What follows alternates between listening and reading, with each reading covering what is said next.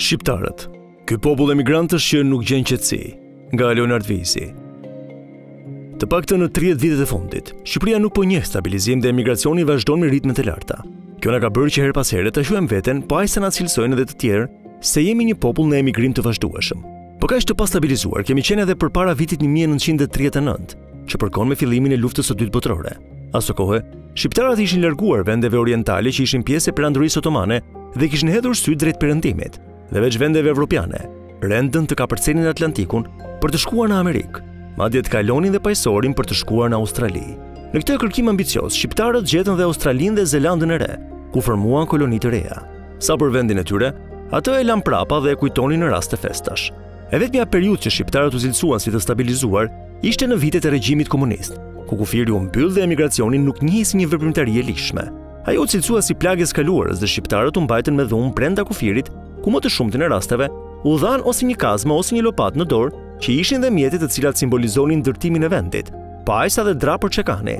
Kalimi i kufirit quhej si arratisje dhe dënohej me të paktën 10 vite burg. Dhe veç kësaj, Për emigrantët e vjetër që kërkonin të vizitonin varret e të parëve, kishte vizita të pakta pas një skanimi alla shqiptarçe nga sigurimi i shtetit.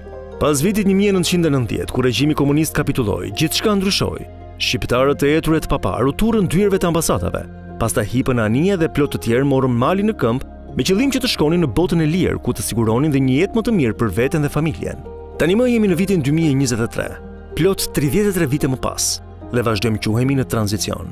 Mënyra e jetesës ka ndryshuar kryekëput, por përsëri shqiptarët e shohin të ardhmen e tyre, jo nëpër qytetet e vogla të ngritura nga komunizmi, as në qytetet e mëdha ku ndërtimet e reja dominojnë, por tej kufirit.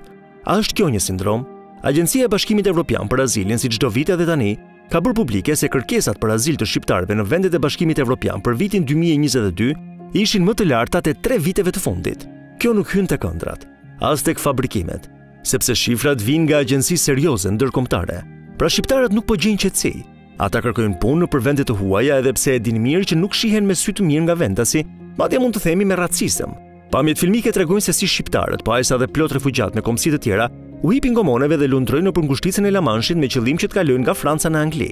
Shumë vite më parë, shqiptarët bënin të njëjtën aventurë me gomone, por Për të kaluar një tjetër ngushticë, atë të Otrantos që lidhte brigjet e Durrësit dhe të Vlorës me ato të Barit dhe Brindizit.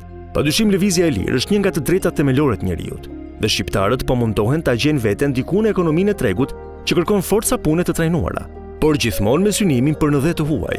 Në vitin 1945, e sapodalë nga lufta, Shqipëria kishte rreth 900.000 banorë, Në vitin 1968, Shqipëria numëronte 2 milion banorë dhe kjo u cilësua si një arritje, ndërsa 18 vite më pas, e pikërisht në vitin 1986, arriti të kishte 3 milion banorë.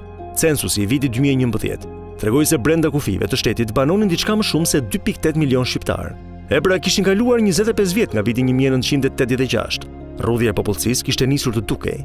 Tani më sipas raportit të INSTAT në janarin e vitit 2022, në të njëjtin territor jetonin 2.7 milion shqiptarë dhe ca bishta që plotësojnë shifrën zyrtare.